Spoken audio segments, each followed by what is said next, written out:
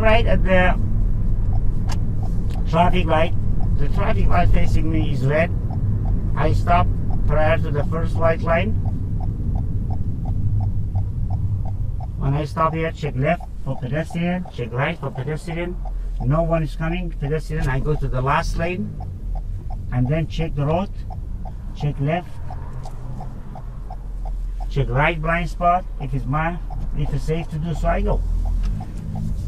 And there's no prohibited sign, so that means we can turn right at a red light. That's right. You must be 100% sure the car is far enough not to cause collision and make sure when you turn right, no pedestrian is on the way. Now we turn left at the intersection with a red light. Signal to the left, left blind spot, go to the turning lane, keep the distance. It's better you keep one car distance between you and the car front of you, or for some people, see the pavement of the two-tire car front of you. If the person is high, like a tall, you must leave one car distance. If it's short like me, you must see the pavement of the two-tire car front at you.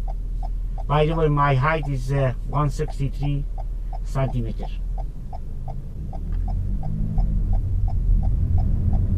So, go to the middle of intersection. No car, check left blind spot. Go left to left.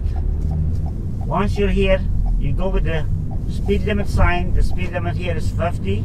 Signal to the right. Check right blind spot if you're safe, turn right to the right lane. So left to left, switch back to the right is your responsibility. You must do it when you do the test. Even though if you are not doing the test, that's the safest way to, to, to drive anyway.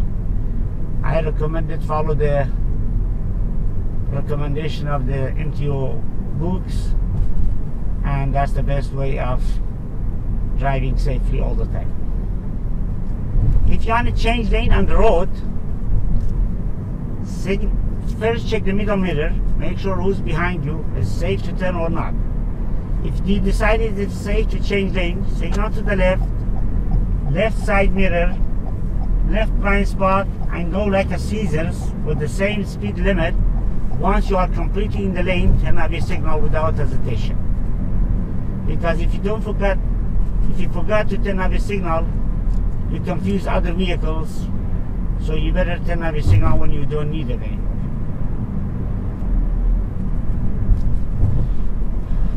We turn left at this intersection, left blind spot, go to the turning lane. The light is green, but the car's coming from oncoming traffic. I go to the middle of the intersection with the straight steering and wait for clarity from the oncoming traffic way. You can bend over your body but not bend car, okay? Now it's safe to grip blind spot and go. Speed limit is 60 and it's only one lane. So do not hesitate to go 60 if it's clear or is not traffic or not a bad road condition.